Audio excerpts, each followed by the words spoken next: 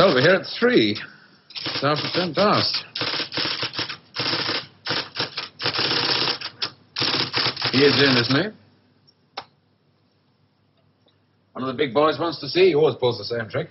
Sends you at three and sees you at three fifteen.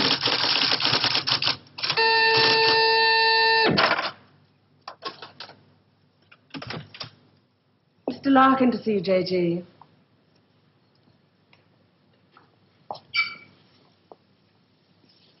I'm sorry to have kept. Sit down, Mr. Larkin. Thank you. Do you, uh, you smoke these things? King of Kings, sir. Yes. Very surprised we got you to come here, Mr. Larkin. Well, I couldn't see what the CWNS would want with me. Still can't. You know anything about us? Oh, I heard one or two things when I was working for the BBC. What did you hear? CWNS set up midway between the government and the TV companies. Anytime the newsreel boys put out stuff with security classification, wars, weapons, political leaks, they get their film through this office. What do we know about you? Larkin. Robert Santor. Yes, it's a family name. Good family. Good education. But you turned your back on all that, didn't you? Tried a little bit of everything. 1955, you wrote some plays for the BBC, then worked for them as a story editor. 1961, you got a three year contract as a director, which you didn't renew. Oh, the BBC won't pay money. Well, you're in the money now, aren't you? 1968. There's your flat in Holland Park, your cottage in Hampshire, two children. And a dog and a cat who commute with us to the country at weekends. Well, maybe you knew that already. Six years ago, there were those shows you did on uh, alcoholism, blood sports, uh, slum clearance. People called you bright, very bright. There were other words they used. Hard hitting, vital. Now you do only four shows a year. The critics call them brilliant. They're high in the ratings, and they're, uh, well, they're souffles. Little soft in the center. Don't think I'm complaining. Oh, you can complain if you want to. Just call it a friendly professional interest. I'd like to know what happened to alcoholism and uh, blood sports. Call it reaching the age of 35. Call it school fees to fixed addresses. Call it joining the establishment. Call it being a socialist for 15 years in a country that'll never be socialist. Good. There's your wife, Rachel. Hmm. you married the girl next door. Your two children, Rebecca and Daniel, nice little family. Three years ago, you got yourself a girlfriend. It was serious. Where the hell did you get that found? Just tell me where it stops. Lasted for 18 months. Your wife never knew about it, even when you nearly decided to leave her. Who are you? It's the initials JG, that's all I know. Never met you before in all my life. July the 25th, 1966. You finally decided to break it off with this woman. You said you loved her. You said you loved your children. It was two against one. You had to add it up like that. Uh, sorry, your cigar burning my desk. Sheila told you all this. We have ways of finding things out. But why? If it's blackmail, the thing won't hold water. It's all in the past. Well, there'd be pain, of course, for Rachel and the children. But you wouldn't get anything else out of it. No, it isn't blackmail. We've just been interested in you for a long time. Interested? You went back to your wife because you said it was two against one. I call that very responsible. We're interested in very responsible people. In fact, we have a little index for them. We call it their power quotient, a ratio of responsibility as against aggression. Yours is very low, 0.2. That's very low, just what we need. Sit down. Please. I'm sorry, the language must seem rather strange at first, but we take it very seriously. Just to show you how seriously, I'm going to tell you how we checked up on you. We call these things uh, surgical transmitters. One was fitted inside you when you went into the Charing Cross Hospital three years ago. Uh, appendix, wasn't it? Transmitter? Are you trying to tell me that you listen to every word I say? A machine does. untouched by human hand.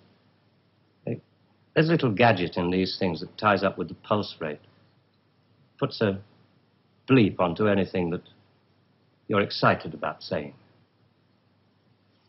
British.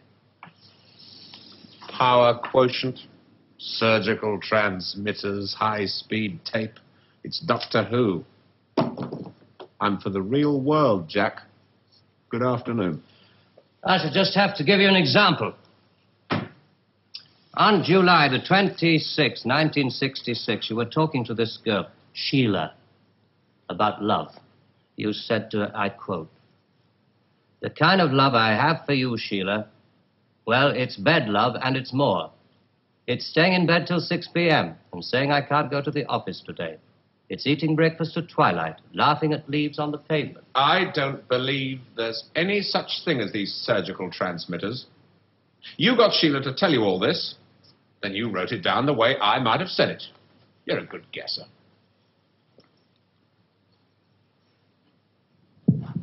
Can you hear your heart beating?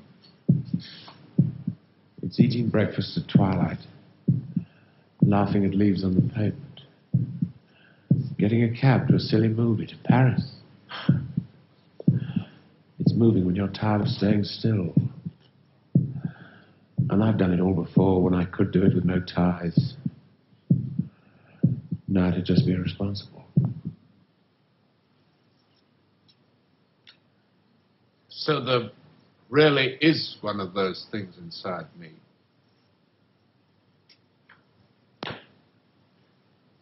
What do you want? We want people with low power quotients. We want them to work for us. Nothing more sinister than that. All this just to offer me a job. Special sort of job. The newspapers talk about the corridors of power, the, the power elite. Let's just say we'd like you to join the club. Oh, There's a vacancy in our newsreel department. We'd like you to help plan the news for 1973. come again? Plan the news for 1973.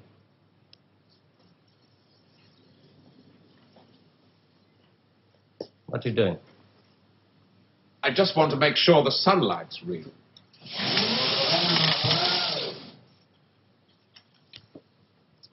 I always tell people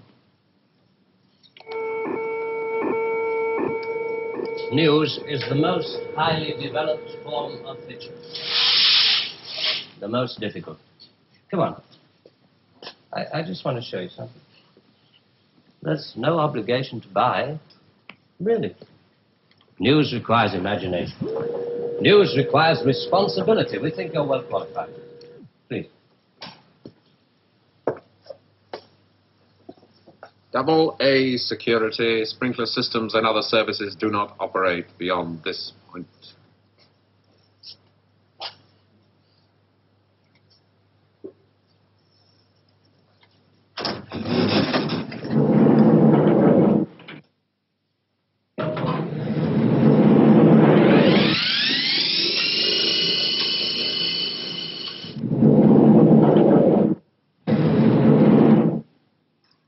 Nineteen seventy-three. We've only roughed out the news for 1973. Nothing's been given the go-ahead yet, but this, uh, this is the kind of thing we have in mind.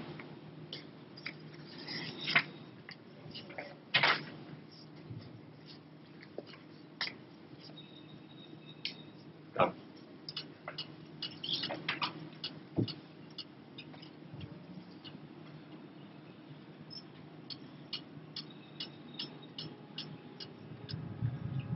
Today, April 14, 1973. First historic pictures by Radstar of the combined U.S. Russian landing on the moon. Shown here are Majors Webb and Mikhailovich taking their first steps into the unknown, firing their retro rockets to land their spacecraft on the dust covered surface. A comforting note for us stay at homes both the Pentagon and the Kremlin have announced that the moon has no strategic value. A comforting note for us to stay at home.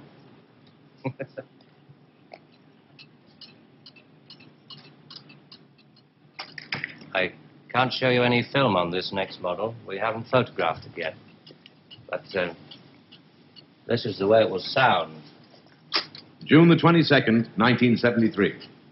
The State Department releases film of the ultimate weapon, codenamed Icarus. This satellite is equipped with a solid reactor. In layman's terms, it can freeze air solid, stopping all missiles, killing all forms of life. Icarus orbits at the same speed as the Earth, can hang in position over every major city that threatens the peace loving nations. Rather proud of this one. Come on.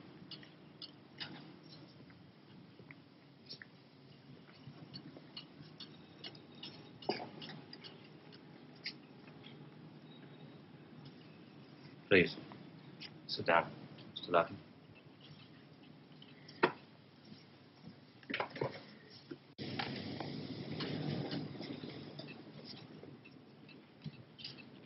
September the 5th, 1973. The new phase in global warfare. War by example. At 4.32 our time, China took out the remote Indian border village of Bandar, unprotected by the Icarus network. After the first two 5 megaton H-bombs had fallen, the nine-way hotline finally had Switch it off. effect. But This is going to happen in 1973. You're going to make this happen. No. We're going to make models much cheaper. Then we photograph the models. Fake newsreels. That's fake news reels. For the past 10 years, people have been looking at our fake news reels and listening to our fake commentaries. And they accept it for the truth. And you can do it. Stop a hundred people in the street. How many of them have actually seen a missile or a satellite? They're, they're, they're just told they exist and they believe it. Yeah, you're getting there. I knew you would. Well, now the moon rocket and, and the satellite, that you can get away with. That's too remote for people to grasp. It's too far away. But, uh, but this. I mean, you invented this village on the Indo Chinese border. Well, somebody could check up. Very mountainous territory up there. There'll be no survivors in 1973. No rescue work. Radiation scare. Yes. You can do it. This could be the news for 1973. Not necessarily uh, exactly like this. We only plan in detail one year ahead. Oh, you only plan one year ahead. Hey, hey um, tell me, what is the news item that's bothered you the most in the past year, 1967? Oh, well, it, um, well, it has to be the new American intercontinental ballistic missile, the, the, the Boy Wonder, doesn't it? Just the one I asked him to set up for you. The new ICBM, codename Boy Wonder, with a much talked about Mercury warhead. Um, I haven't any special effects up here, but perhaps with, with the proper sound. Blast off. And Robert Larkin, television director, high IQ, 35 years old, is scared. Scared by nothing. It doesn't work. It's a scientific impossibility. The same goes for the much talked about Mercury warhead. Perspex. Well, if, if this rocket doesn't work, then the others. They have a fireworks party at Cape Kennedy almost every other day. Well, you didn't really believe there were all these things whizzing about up there, did you? Uh, Sputniks and rockets? Astronauts crossing their legs for eight days. How long has this been going on? Since Hiroshima. And, and the H bomb, you mean that doesn't work either? Right. Dirty. Very, very dirty. What was your first reaction? Relief. Oh, yes. Yes, it has to be relief.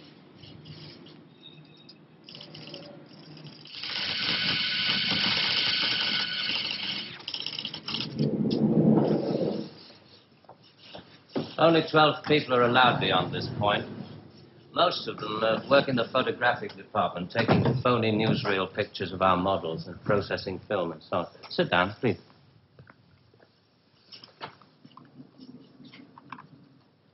Ah, pretty pictures from our stills department. The boy wonder. Do you really think that missiles and satellites are my out of country? No, not at all. I've only shown you the hard news. There are other things, much softer things we thought might interest you. Well, 1973, we thought it might be time for an anti teenage movement, a long awaited return to maturity. Sheriff. Hmm. Perhaps even a religious revival. oh, I see. You want me to arrange the grand opening of Ruislip Cathedral, 1st of October, 1973. Mark the date down in my 10 year diary. We are very serious about you. There are things about you we like very much. Qualities you have to offer. Qualities that we perhaps don't possess at the moment. That's great. Our file on you. I have to return to July the 25th, 1966, the day you broke it off with this girl, Sheila. Um, You really did reveal rather a lot of yourself that day. But of course, if, if you really mind, uh, Help yourself. you said to her, um, "Mm, it won't work, Sheila, and she said something, and then you said,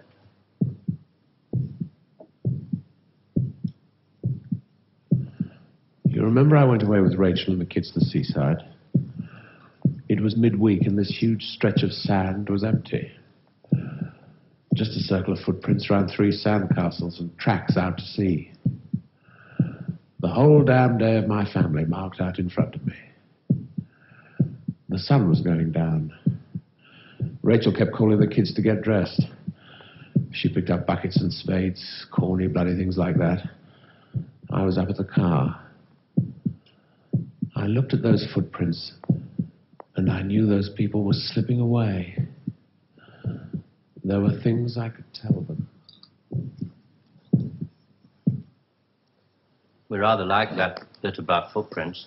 You see, in this job, some of us have got rather a long way away from the idea of footprints in the sand. Those footprints were made by my children. Now, you want me to scare the hell out of them with every bomb from A to H inclusive. Well, why? I, I mean, when did it all start? 1945. You may remember the Americans let off their two atomic bombs. Well, they didn't want other people doing the same thing. I mean, you do see that, don't you? Oh, I don't know. Well, scare the people off, the Americans put it up, and the atomic bomb was halfway along the line to something much bigger, the, the hydrogen bomb. It didn't work. They spent five years in negative research. Well, what about the Russians? They're supposed to have quite a pile of these things. We were surprised when they started their tests. Then we got a few feelers from their Secret Service. Nowadays, we work very closely together. Oh, all these stories about spies going off to Russia. Uh, Mr. Philby, remember? Just good copy for the Sunday papers. Good copy. Well, the Chinese. I mean, they've just announced their bomb. Yeah, we played along with it. We recorded their phony explosion. We're rather hoping the Chinese will come along, um, complete the pattern, you know. In Vietnam, hundreds of people are being killed every week. Well, you can't do that with your models. No. And you can't cure people of bad habits in two generations. They like to carry rifles, they like to put lines on maps. And we let them because we control the situation. There's no danger of world war.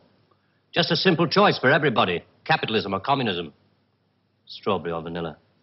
It all adds up to the same thing now we've got rid of the big bangers. Well, how can you be sure that Johnson, Kosygin aren't working on other things? Poison gases, bacteria. Pathetic man of your intelligence. You don't want to destroy the world, neither do I. What makes you think that presidents are different? Well, they've made some pretty good stabs at it in the past. There wasn't the right sort of control then. Nowadays we know better. Politicians are easy to control. The grosser mentality boys who like to be photographed getting in and out of Daimlers in Whitehall. They come right at the bottom of our organization. A few rungs up the ladder, there are the people in the top secret factories. Just those in a position to know they're making weapons that don't really work. There must come a time when somebody wants to use one of those weapons. I mean, somebody is standing there with a finger on the button. Well, that's the beauty of it. Nobody presses the button. We control all the crises. We build them up and we shut them down. We. Again. Yeah, I'm coming to that. Near the top of the hierarchy, there are the economists, top civil servants, top brass in the military. Those men who are supposed to view the nuclear tests and so on. And above them, CWNS. Right at the top. Classified World News Service. Just who the hell are you? It's obvious, isn't it? Just a few, just a very few of the top people in communications in every major country in the world. Oh, you mean you you run all these magazines? No, of course not. We just get them to take some of our copy every week. Television is much more important to us. All happens so quickly. You say you can put out what pictures you like on television. Doesn't anybody try to stop you? No, nobody wants to. 99.386% of the population wouldn't believe this conversation. And the rest are working for us. And they're the top minds, the really responsible people. They know they're guaranteeing the lives of their grandchildren the only foolproof way. Scaring the hell out of their grandchildren. Well, I won't buy it. You must admit there has to be some kind of control in this world of ours. Hmm? Look at this. And remember that one quarter of the world is starving. There are the full bellies and the empty bellies. Some of the empty bellies carry rifles. Well, we full bellies are getting a bit flabby. We're not very good with rifles anymore, so we've devised two ways to keep the empty bellies under control. One of them is this fictitious hydrogen bomb we've talked about. The other one is money. Enough money to fill some of the empty bellies and put a hopeful smile on the faces of the others. A great wall of money all round Britain. And it's no secret that the British economy is in trouble at the moment. So we have to put that right, too, to stay alive. We have to control the people in this country. Scare an ostrich, buries its head in the sand. You scare a hedgehog, it rolls itself up into a ball. When a woman's frightened, she goes out and buys herself a hat. You mean you scare us so that we'll buy more, so that so that money moves quicker, production moves up? We don't say scare when we talk about human beings. We say uh, threaten them emotionally. And there are all sorts of ways of doing not just the big ones like the hydrogen bomb. Overcrowd them a little with bad planning. Sell them too many motor cars. Anything to keep them a little bit removed from reality. Nowadays, people don't work for money. They work for the idea of money. They don't even love for love. They love for the idea of love. They only hate for the idea of hate. It Took us five years to find a non addictive drug, one we could pay off against the hard drugs LSD. You marketed that. Oh, yes, of course. And for a very good reason. Some of these protest movements were getting a little bit too close to the mark. LSD gave them nice little hallucinations, made them talk like three year olds, throw flowers at policemen. Shall we talk terms? You're not still going to ask me to work for you. I'm afraid I've had to put all this rather bluntly. You see, there wasn't really very much time. Uh, it must be rather a shock. Well, I mean, most people realize that the world is controlled from about six big cities. But it must be rather shocking to learn that a sixth of the world is controlled from this building. You mean you? Oh, no. I only rate an office on the seventh floor. There are two other offices above this one, and a giant computer system. Link number four in world control. A computer? And what's so remarkable about that? It's just a machine that can store a vast amount of information. A machine that knows too bloody much. Now you're being hysterical about it. Computer's very simple. You feed data into it, anything from the Wall Street closing prices to the North Atlantic weather reports. And you get decisions. That machine's taken you over. It's just a machine. Extra hands for the people who know how to control it. Well, Th- this one uh, above us, it's um, it- it's square in a, in a box. Yeah, I suppose you could call it square in a sort of a box. You know why I go away at weekends? To get away from people in boxes. They live in boxes. They get their thoughts, their problems, and their answers out of boxes. And I like to get away at weekends because they're not people anymore. Now, you know all about me, my cottage in Hampshire. But did you know that there's a line of trees that goes right up past the house? And the noise they make is, is like the sea. Did you know that I find it difficult to sleep in the country? And I like to go and stand in the garden before dawn. And I feel good because I know that my wife and my children are asleep inside. And I like to go out and walk past the wet hedgerows until I can see pasture land and, and the smoke from the cottages in the village. This may be all very well for one of your grassroots programs, but I'm afraid time is running out. I ought to tell you, we pay a great deal of money. We can afford to. We save such a lot on things like the national defense budget, so on. We would start you off at a quarter of a million pounds a year, Oh. rising to a million when you make the Ministry of Morality, which I know you will. Will you let me out of here? One little point. I should have told you about these uh, surgical transmitters.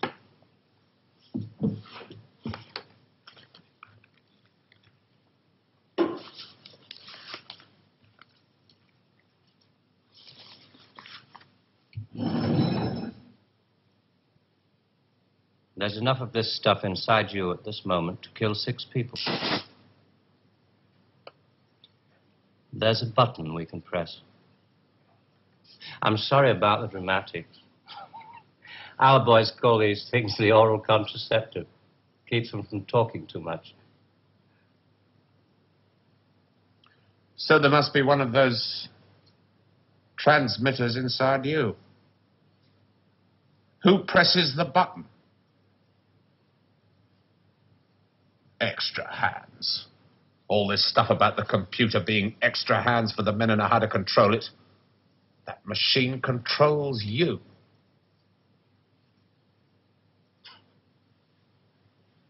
You start on Monday. Mm-hmm. The controversial classics from Dennis Potter next weekend with the first of the Nigel Barton plays on Saturday at 11.20. But next tonight, Tony Palmer's very personal film looking at the relationship between pop music, youth culture, money and violence. All My Loving in a moment.